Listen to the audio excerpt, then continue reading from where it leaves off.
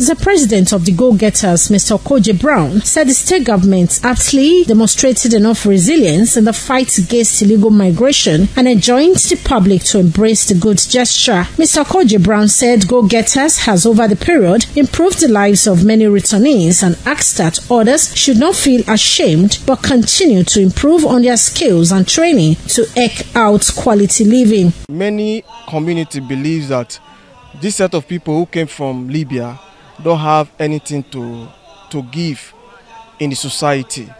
That is the reason why we have to come up with this program so that they will understand that go-getters, the return migrants, are not useless, that they are useful to the society. Some returnees expressed deep appreciation to the government of the state led by Mr. Godwin Obaseki for setting up the task force against human trafficking, who has provided steady, dependable, and safe opportunities for them to have second chances towards better lives. Being that I'm a return migrant as a go getter, I was empowered with and employment in the task force as a counselor. I came back 2017 and I got assistance from federal government.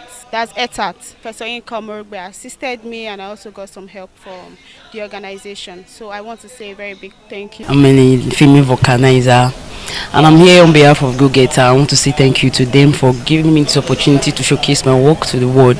Some of the items exhibited by the returnees are men and women shoes, women wig, bags, snacks, pastries, paintings, and other artworks. Deborah Ogbeifun, ITV News.